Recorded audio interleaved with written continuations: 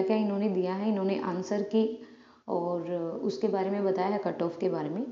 देखिए, Delhi police constable 2021 on 15 March SSC dot N dot in check SSC constable executive selection list update here यहाँ पे देखिए Delhi police constable result 2021 आपका जो paper हुआ था, वो हुआ था 27 नवंबर से 16 दिसंबर तक। Across India at various centre now SSC will release result of all the candidate who would qualify in online exam of paper one post of constable executive male and female and आपका result tentative है कि आपका 15 मार्च 2021 तक result आ जाएगा इस महीने।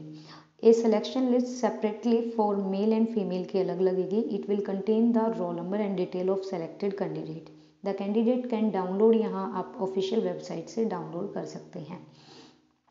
Next thing यहाँ पे इन्होंने ये डाली है कि एसएससी अपलोड तब करेगी फाइनल आंसर की जब आपका रिज़ल्ट जो है रिलीज़ हो जाए ताकि आप ऑब्जेक्शन कर सकें किसी क्वेश्चन पर. यहाँ पर एक्सपेक्टेड कट ऑफ़ भी बताई है. यहाँ पर हंड्रेड मार्क्स का आपका पेपर हुआ था. ठीक है? और यहाँ पर expected cut off for general category is expected अगर किसी बच्चे के पैंसठ से सत्तर के बीच में बन रहे हैं तो यहाँ पर चांसेस हैं।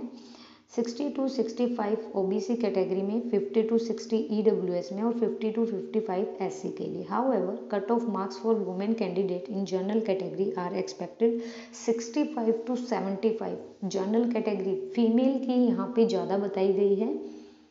फीमेल के यहाँ पे ज़्यादा है तो आप चेक कर सकते हैं। अगर आपके इतने नंबर बन रहे हैं तो हो सकता है आपका क्वालिफाई और 15 मार्च की इन्होंने टेंटेटिव डेट दी है। उससे पहले भी आ सकता है और हो सकता है भाई 15 मार्च को भी आपका रिज़ल्ट आए।